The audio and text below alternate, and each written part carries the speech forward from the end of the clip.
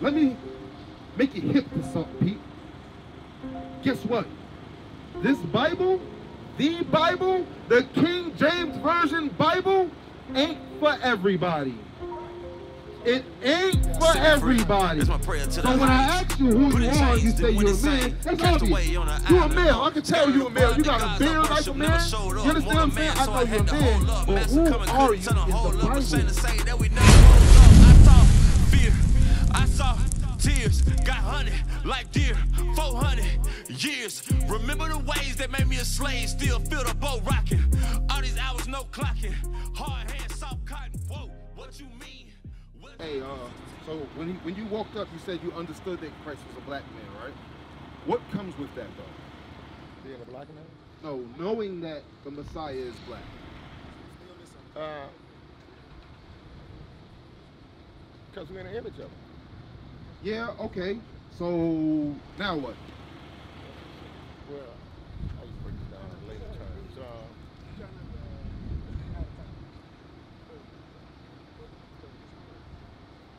Give me Colossians chapter. my understanding is, Yeah.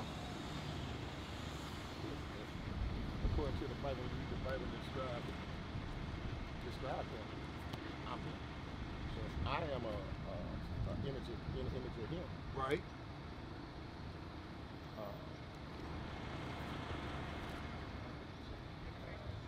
Can I give you some help? I think I know exactly what you're trying to say. I want to give you some help. Give me uh Second Peter's 2 and 21.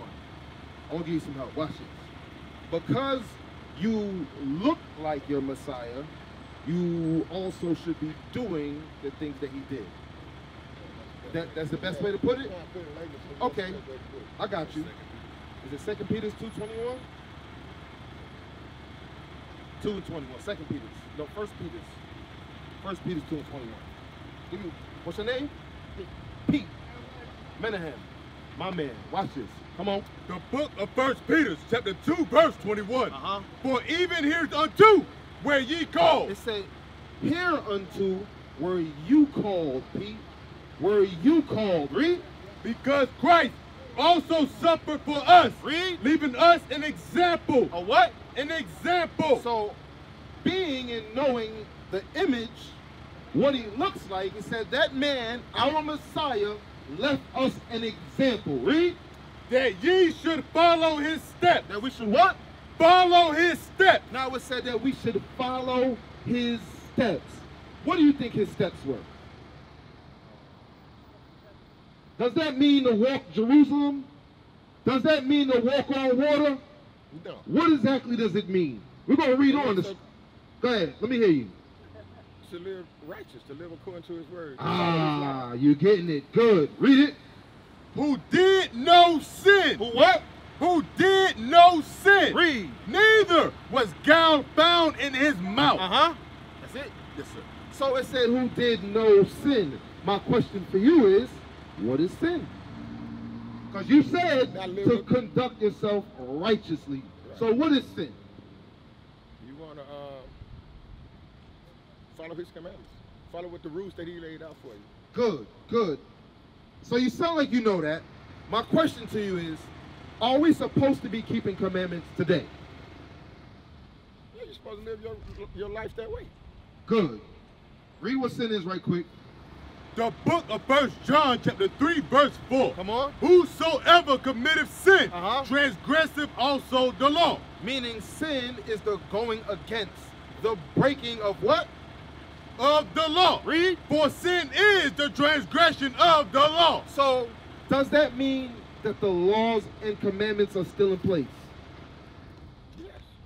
The, the commandments are always in place. Ah, what about the laws? Well, the commandments are the law, so yes. You all right, Pete? That's right. You all right? So, my next question is, do you know who you are according to the scriptures?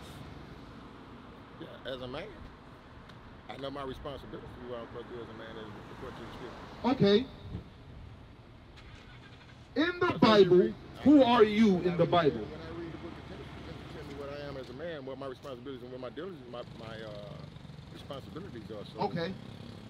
Yeah, Um, I want to show you some things. Is that all right? that's something. That's what I'm talking about, Pete. Give me Deuteronomy 28.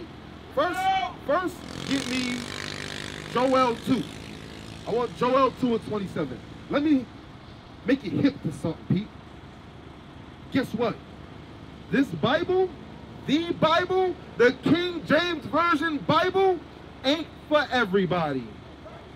It ain't for everybody. So when I ask you who you are, you say you're a man, that's obvious. You're a male. I can tell you a male. You got a beard like a man. You understand what I'm saying? I know you're a man, but who are you in the Bible? Because it says chosen. It says elect. It says peculiar. Who are you though? It also says Gentile. It also says Jebusite. It says all those names, but who are you in the Bible? Bring it out. That's what we out here to teach our people. That's right. Because guess what? In the church, they let us know that the people who look like this are the Jews and that we are the Gentiles.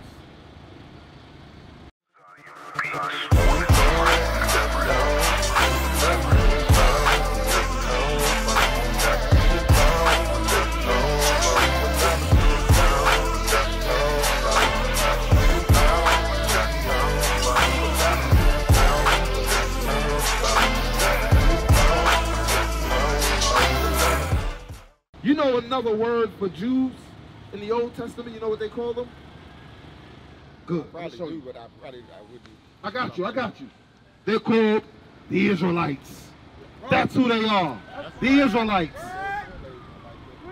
It's the truth. Now watch this. Look who God is speaking to to the entire time. Watch this. Come on. The book of Joel, chapter 2, verse 27. Read. And ye shall know that I am in the midst of Israel. Whoa, whoa. Read it from the top. Nice and slow for me. And ye shall know. It said, and ye shall know. Letting us know he's here to inform us. Because through a process of time, this happened, correct? This is our history. Because these things happened, we wound up worshiping another God. He said, now what? And ye shall know Uh-huh. that I am in the midst of Israel. Read. And that I am the Lord your God, Very possessive. He said, I'm the Lord, your God. Read. and none else. No. Where you going now, Pete? I gotta go pick it up. Are you going to come right back? I, I gotta go deliver it. I, yeah. Are you doing Uber Eats? Yeah. Oh man. But- Pete, what did the Bible just say? Before you go, you can grab it. Before you go, what did it just say? Who's he the God of? I, I Read one more of it. time while you going. Watch this. And ye shall know that I am in the midst of Israel, Uh-huh. and that I am the Lord your God, and none else. So the creator of the heavens and the earth is only the God of who? The word. No. The Israelites, Pete. He ain't the God of everybody. There you go. He's only the God of the Israelites. That's blacks, that's Hispanics, and the Native Americans. Now, I wish you could come. You need to stay, Pete. You're about to learn the best and greatest news you ever heard in your whole life.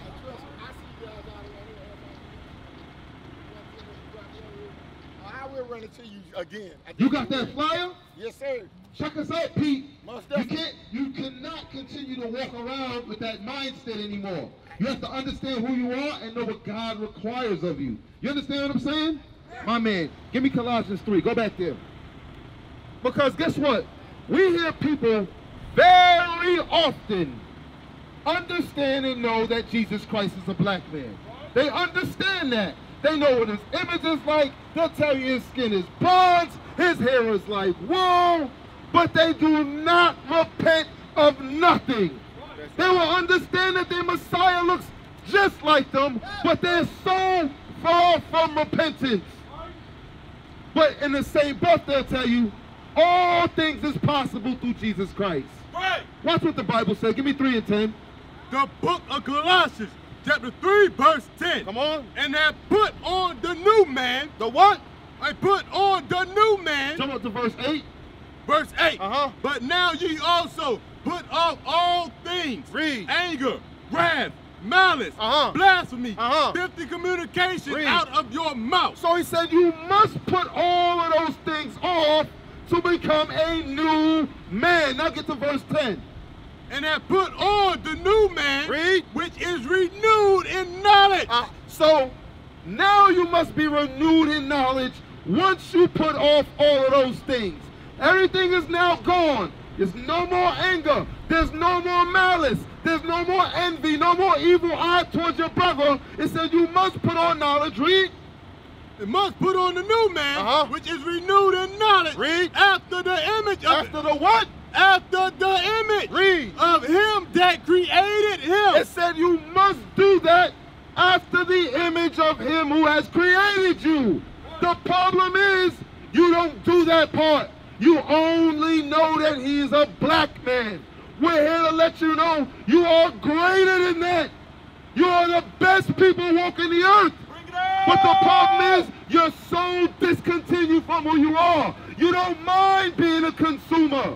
We were engineers. We are inventors. But we're so far from our heritage. We're so far from our direct channel of intelligence that we walk around in a destroyed state. Read that again. Yes, sir. Verse 10. Uh-huh. And have put on the new man, Read. which is renewed in knowledge Uh-huh. after the image of him that created him. So knowing his image comes with knowledge. It must come with knowledge. Knowledge is the understanding of God's laws. Give me that in Micah. In Malachi 2. They must go hand in hand. People always wonder why y'all stand up here just talking colorism. Y'all always want to talk about color, color, color, color. It is important according to the Bible. It is in the scriptures. Watch this. Come on. The book of Malachi, chapter Uh-huh. 2, verse 7. Read. For the priest's lips Uh-huh. should keep knowledge, Read. and they should seek the law Uh-huh. at his mouth. the knowledge that should come out of the priest, pastor's, reverend's mouth is God's laws. That is what you're missing, so-called blacks, Hispanics, and Native Americans. You're missing the laws of God. And we come out to the highways and hedges to deliver that to you. Because guess what? Without it, you're lost. Without it, you're destroyed. You do not know which way to go. You continue to walk on in darkness. When the Bible says this, give me Exodus 18 and 20. It tells us exactly the way we should walk. But we do contrary. We are a rebellious and stiff-necked people. You would see unity in black men and drive past. You won't even stop to inquire what's going on. You've seen movement after movement and will not even inquire what's happening. Read that. The book of Exodus, chapter 18 and verse 20. Come on. And thou shalt teach them ordinances Uh-huh. and laws, Uh-huh. and shalt show them the way wherein they must walk. It said, God told Moses, teach them ordinances, teach them God's laws, and show them the way they must walk. We're letting you know right now you're walking in darkness. It is high time that you awake out of sleep. Come out of your conditions. Come out of your mindset. That is what keeps you in a lower state. Breaking God's laws. Read it again. And thou shalt teach them ordinances Uh-huh. and laws, Come on. and shall show them the way wherein they must walk, Read. and the work that they must do. Because Christianity tells you just believe. Just believe and everything's fine. No, there is work you must do. That's you right. can't just walk around thinking anything that you want. That is not how God works. He is a man of action. A man of action. Give me that in Psalms. I'm Samuel. First Samuel 2 and 3. Watch this. For all you Christians in Christianity who just want to run your mouth. Oh, I know God. Oh, he knows my heart. Look what he says. Read that. The book of First Samuel, chapter 2, verse 3. Uh-huh. Talk no more so exceeded proudly. Read. Let not arrogancy come out of your mouth. It's talking about your speech. Don't just run your mouth talking about he knows my heart. All you have to do is believe, believe, believe. What is God of? Read. For the Lord is a God of knowledge. Uh-huh. And by him, actions are weighed. What? Actions are weighed. There's things you must do. You must walk godly in this present world. You must live a righteous life. When you're not doing that, you are the devil that the Bible speaks of. What is the nation?